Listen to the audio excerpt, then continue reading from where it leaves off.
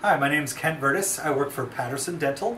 I'm a technology uh, advisor with Patterson Dental, and I go through all uh, offices throughout Northern California and train on how to use various technologies, from the practice management to imaging to CEREC to cone beam, uh, pretty much all of Patterson's technology.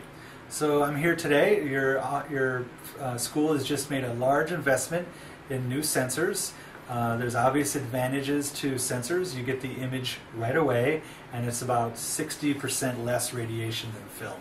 Um, about 80% of California dentists, at least, now use digital, so uh, you'll probably see this when you get out more than you'll see film. Um, eventually, there's a mandate to be all digital, so at that point, eventually schools will be starting to obsolete the film at some point. Um, the first thing to know about this sensor is that this is about $12,000, so we really need to take care of it. Um, we need to store it properly, we need to um, use it properly, and we always want to be sensitive, particularly with the cord. Most of the damage that happens is with the cord, so it will get shut in a door, or you will grab it around the arm and you'll pull it. Um, so we want to make sure we're taking care of this cord, okay? Uh, when we're done with it, we do want to wipe it off 18 inches with a, with a CaviWipe or alcohol. We definitely do not want to spray it. Okay, so if you're using any sort of spray, we want to put it on a 4x4 first and then wipe it off. Of course, uh, we don't want to autoclave it. We don't want to uh, run it underwater or anything like that. Okay. Now, when we're plugging it in, we're going to plug it in so that there's a remote under here Every operatory has one of these remotes, and you're just going to take this sensor and blue to blue and white to white plug it in. Okay. Uh, once we, when we're ready to unplug it, we definitely don't want to grab it by the cord. So we want to hold the remote and pull it out. Okay. Um, as I said, this is going to have a barrier on it. So the barriers are specific. Right now, this is a size 2 sensor. Uh, the size 2 is a true size 2, like a size 2 film. Uh, when we're using these, this could be shoot about 85 to 90% of our adult shots. We do have a size 1 that is smaller that we can use if they have a lot of toric or very short palates. But whenever we go to a size 1 on an adult, we're giving up something. We're usually giving up bone level on a bite wing or the apexes on a PA. Um, so these barriers will be specific to size 1 or size 2. So I'm going to slide this barrier on. You do need a barrier for every for every shot. Once I get that barrier on, sometimes these little edges are very sharp for the patient, so we can just break that down really quickly. And then you would take your images. When we're done with this, we don't want to pull on this too hard. We're just going to use this, and basically we're going to squeeze it like a watermelon seed, and it's just going to fall out. Okay? Um, so be careful of the cord. We will be uh, we will be storing these overnight in a cabinet, so the faculty will explain where these go when we're done. Um, as far as in the operatory, when we're when we're ready to hang it up, you can't see it, but there's a hanger on this side, and we're just gonna we're just gonna hang it in here. This is good for the size one or the size two. So this is pretty much where it'll stay during the day, but at night and in the morning we'll put them away and take them out. Okay, so we went a little bit over sensor care and how valuable these are and, and how to protect the cord especially. Obviously we don't want to drop it on the ground either. Uh, but now we're going to talk about the, the software itself. So uh, when you come in in the morning, the monitors will be on and you can just double click this icon down here and we're going to open up the Patterson image Patterson software. Um, with that icon, we can access the patient's schedule, we can access their account, and we can also access their images. So all the data is in one icon on the desktop. We're going to drop down and find the name of who, of who you are. Every student will have a will have a login with a password. They will help you set up the password. Once you have the password, you'll you'll enter it and log on. Uh, this is the clinic view back here, and we're basically going to grab a patient. So we're going to click this patient button over here. We're going to search for our patient. In this instance, I'm going to bring in a test patient. And we're going to we're going to double click right on that blue line. And now test test is sitting in this in this operatory. So we can only have one patient in, so for obvious reasons we only want to have one patient on the computer at a time. So we can click, uh, we have a lot of uh, icons on here, but we're going to click right on this x-ray right here on the computer screen. And it's, it's going to open up the oldest images. So you're going to see chronologically the newest one on top and the oldest one on the bottom. When we're ready to take the uh, new images, we're going to click right down here on New Exams, and we're going to choose what exam you want to do. So you might be doing an FMX, you might be doing four bite wings, or you might be doing uh, four vertical bite wings. So once you have the, the uh, template that you're going to use, we're basically, once it's plugged in down here, we're going to see this blinking blue and yellow.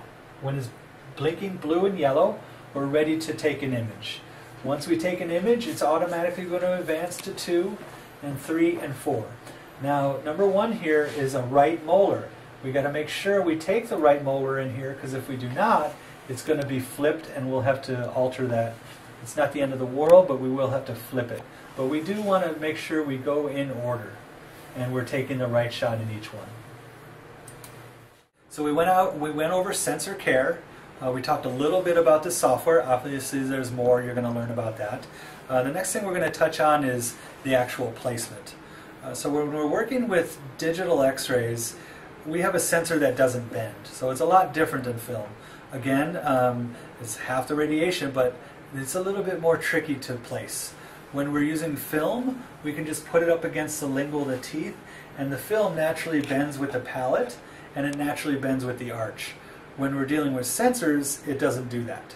So with sensors, we need to put it right in the midline because there's more space in the midline. Therefore, we, we have a better chance of being able to have the patient close down to where a point where we don't have that much space in between the teeth. Okay. Uh, if we put it too lingual, the patient's going to hit here and it's not going to be able to close down. When we're putting it in a palate, we do need different types of holders. So with film, we're, we usually a lot of the times we use the bite wing tabs, and with that, that's okay because we can leave it more lingual. When we're dealing with digital, we need to put it in the midline. Therefore, we need a holder that can get us there. Um, there's all kinds of reasons to use the Rinn, but one of them is that we can actually place this sensor in the midline. So there's different types. You're gonna uh, you're gonna come across different types of holders, different types of Rinn systems.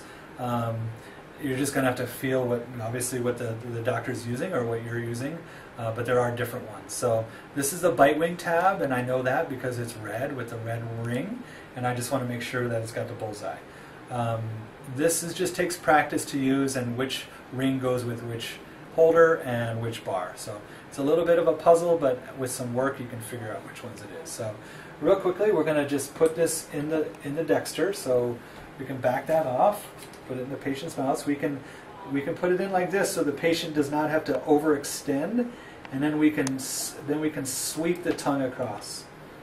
Okay, and then we're going to tell the patient to gently close. Uh, when we're putting that in, when we put it in straight, we're going to have close contacts. So one of the things you want to do is after you put it in, we're going to give it a little mesial bend. That way we can open those contacts. Okay when once we got it positioned good, we tell the patient to gently close down. And now we're going to put this ring all the way up against the patient's the patient's cheek. Okay, we need it as close as possible, preferably touching, but we don't want to we don't want to jar the patient, so it, it's okay if it comes off a little bit. When we're putting this the head up, we definitely want to make sure it's parallel. So we don't want to see it like this, where we have a big gap here and a big gap here, and we don't want to see a big gap here and a small gap there. So it's got to be parallel to the ring, and we've got to look at it all a bunch of different angles, but basically, once we think it's parallel, we're going to go over to the, the, the remote and we're going to take the shot.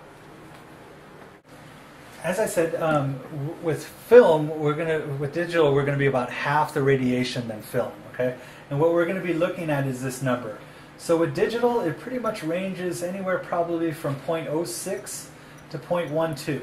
Now, this head we have here, this system, X-ray system, is fairly new. That's why we can have it between 06 and 08. Now, there's all kinds of different heads that you'll you'll you'll come across.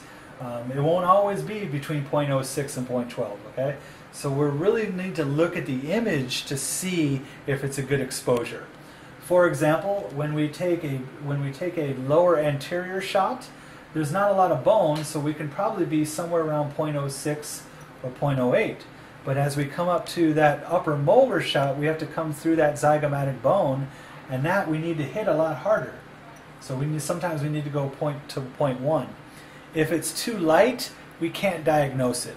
So if it's very light and grainy, that's usually soft tissue. If we didn't go through the soft tissue, we didn't go through the enamel. Okay? So we typically want a few settings because the same setting for the anterior is not the same setting for the bite, for the upper upper molars. So we really want to make sure we, we're using this to get the to correct exposure. Um, similar, if we sit down a young female, uh, her bite wings might be 0.08. If we sit down a large male, their bite wings to get a proper might be 0.1 or 0.12. So it's not always just about this number, it's about the image that we get. So we do like to err, or we do like to lean towards a darker setting. So if the first one you take at 0.08 is light and grainy, then the next one you take, you want to just bump it up to 0.1. Um, the, every every operatory is a little bit different, um, so you'll have to look at these numbers right here. And of course, your faculty will help you guide through what a good image looks like digitally. Okay, so that's a quick overview of sensor care, a little bit on how to use the software, and a little bit of placement. Obviously, you're going to learn more from the faculty, but um, I just wanted to thank you for your time, and uh, I hope you have lots of success. Thank you.